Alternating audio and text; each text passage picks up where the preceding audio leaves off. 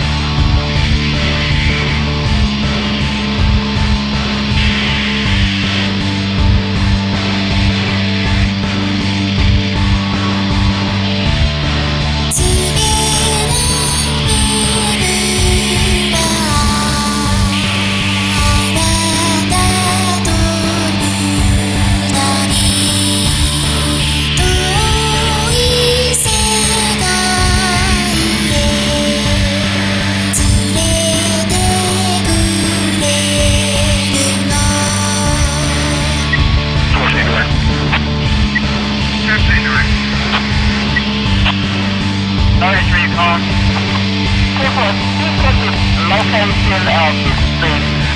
Seven report about several suspects